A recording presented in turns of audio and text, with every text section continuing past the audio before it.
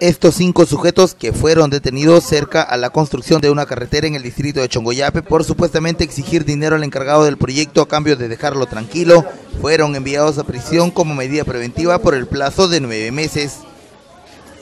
Todos ellos tienen ausencia de trabajo debidamente acreditado y su comportamiento. Al antes indicado, resuelvo declarar fundada la prisión preventiva contra Miguel Sánchez Ríos, Jorge Anthony Cámara Vaca, Luis Larry Sánchez, Jorge Segundo Río Ramos David Montalvo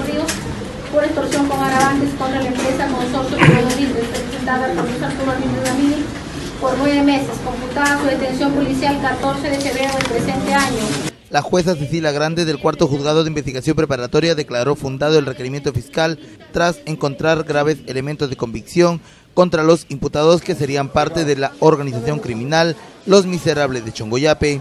Creo yo que el plazo de la medida, teniendo varias diligencias que hacer, es proporcional a los nueve solicitados por el Ministerio Público. Respecto al peligro procesal, voy a analizarlo por cada uno de ellos. Debo señalar que todos ellos, ninguno tiene un trabajo fijo, ninguno tiene un trabajo debidamente acreditado. Empezaré por Saavedra Sánchez. Ellos han sido identificados como Lubi Saavedra Sánchez, José Tabaravaca, Delvis Montalvo Ríos, Miguel Sánchez Ríos y José Ríos Ramos, quienes cumplirán el mandato de prisión preventiva en el penal de Chiclayo. Sus familiares, al enterarse de la resolución, protagonizaron dramáticas escenas en esta sede judicial.